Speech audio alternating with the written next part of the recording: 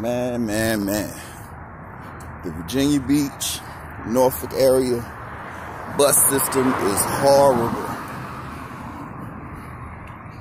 Oh my gosh. My car broke down for a little bit. I'm trying to catch the bus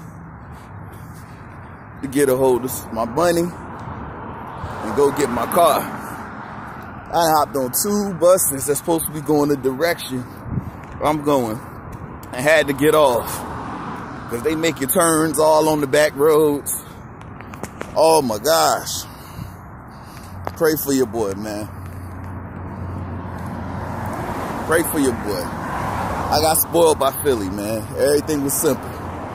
Whatever road you on, the bus going straight down that road for the most part. VA, you gotta have a map to catch the bus out here. Jesus. Then they run every 30 minutes. So if you get it wrong, you get it wrong. But yo, anyway, man, your boy is finding some solidarity in life, yo. Um, I, I, I made the decision to get rid of my Facebook. So I'm gonna be right here talking to y'all more often, right here on YouTube. This is gonna be my spot to communicate with the people that love me.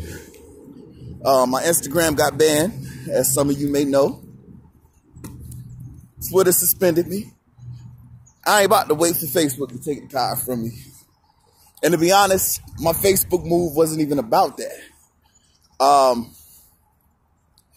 it was just as simple as I needed to unplug and push the reset button on life.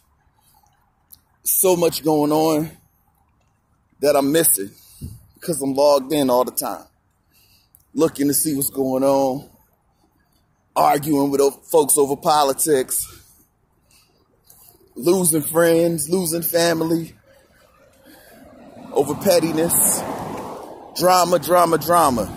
Facebook is the devil, man.